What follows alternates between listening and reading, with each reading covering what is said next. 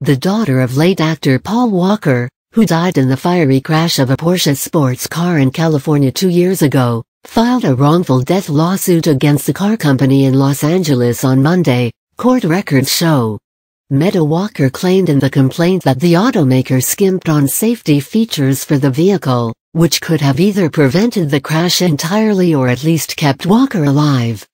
Paul Walker was a passenger in the 2005 Porsche Carrera GT driven by Roger Rodas, who lost control of the vehicle before it careened into trees and a utility pole in Santa Clarita, northwest of Los Angeles, killing both men in November 2013. The suit said Porsche AG knew the car model had a history of instability and control issues and added that the seatbelts were designed such that in a crash, the shoulder belt anchor would be pulled along with the rear engine compartment while the seat anchor would remain in place.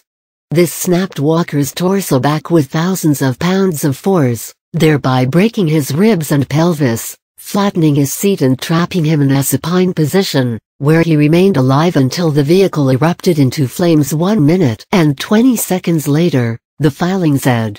Absent these defects in the Porsche Carrera GT, Paul Walker would be alive today, the complaint added, citing the seatbelt design and other issues.